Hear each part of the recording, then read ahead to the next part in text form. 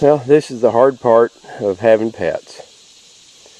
You know, these pets don't have a long life like we do. And uh, just dug the grave for one of our cats. That's old Bart. He was a beautiful black cat that showed up here. Big tomcat, big bruiser. Anyway, we we managed to trap him in the garage. I had to use welding gloves to catch him. And he stunk. My gosh, he was a really ripe tomcat. And got him in the house in a cage and took him to the vet the next day. They cleaned him up, vaccinated him, neutered him. And when he came home from the vet, he was a docile, really fine pet and real hard body. He was, gosh, he was good. And uh, the funny part of that was, few days after we got him back from the vet, I was out, went out in the driveway and we had a black cat out there. I thought Bart had escaped, but uh, right there in that grave is Brat. And Brat showed up, he's another big black cat. He showed up a few days later. That poor Brat, he wanted help. He had uh, badly infected sores all over his face from fighting. But my gosh, he was like a Tasmanian devil. And uh, we got him fixed up, got him to the vet. Susan lanced his infected wounds and got him drained and peroxided. We got him to the vet. And uh, he was a docile pet. Brat is the one who would uh, be on the phonograph and dance to the records we'd play. So anyway, they were good buddies. And uh, Brat had a uh, a little owl doll that he liked to carry around. He'd carry it around and uh, talk to us. He was, felt like he was a big hunter when he was carrying his owl doll. Well, after Brat died, nobody bothered that owl doll. It it just stayed wherever we'd put it.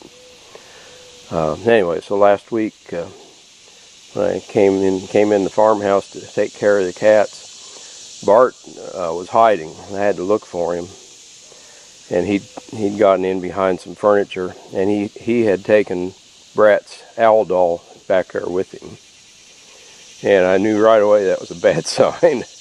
that was pretty rough. But, uh, anyway, a few days after that, he went off his feed, and then a few days after that, he went off his water, and uh, we kept him in a you know kept him a bed away from the other cats and and uh, we'd spoon water into his mouth to keep his mouth moist. And last night he had the death rattle, and this morning he was gone. But uh, never seemed to be in any distress, and that was good.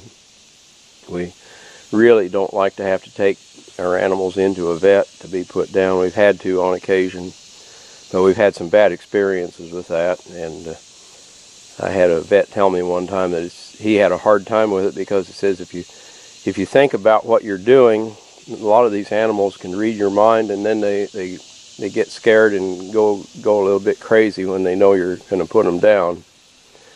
And uh, so we're always hesitant. We don't we'll take an animal in if we think they're hurting, but if everything is running uh, pain free, you know, we'll uh, we'll let nature work its way through on these.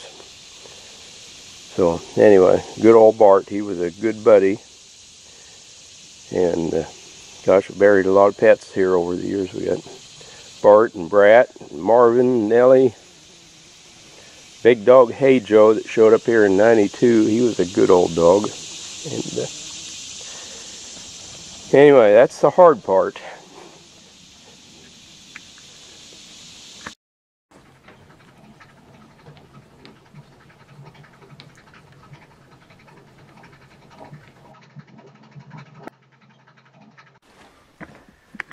There's my well, there's our kitty. Look at him. He's all excited. Okay, today opened up a drawer full of records and we pulled out Forest Whispers by Arthur Pryor's band. That may be some kind of Deep Woods Thoughts type of thing, but it says military band. So that's going to be music, but it says descriptive novelty. I'm not sure what we'll find there. And on the other side, the Battleship Connecticut March by Arthur Pryor's band, and that would be back in the era of the Dreadnoughts. That would be like back around 1900 or so.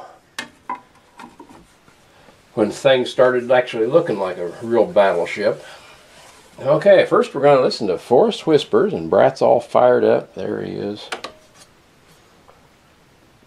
Arthur Pryor's band.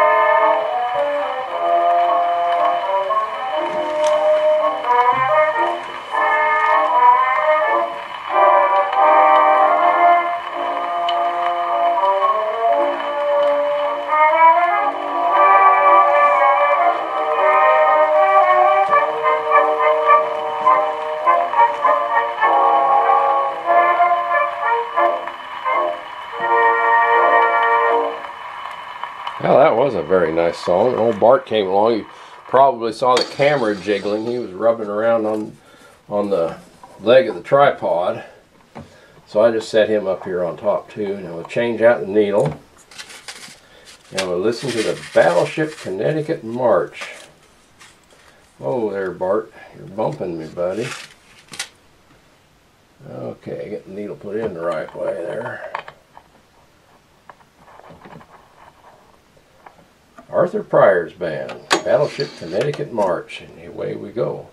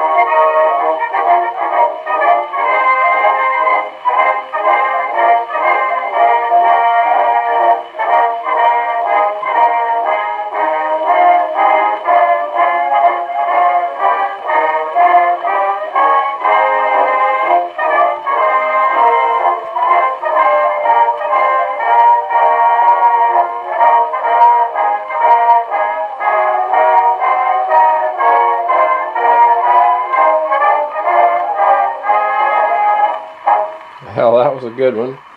Yeah, both both cats stayed for both sides, so I guess this one has their seal of approval. Anyway, that was a Battleship Connecticut March. We'll look that up on 78 discography and find the date on that. And the flip side was Forest Whispers. So anyway, we'll do another one next week. Catch you next time.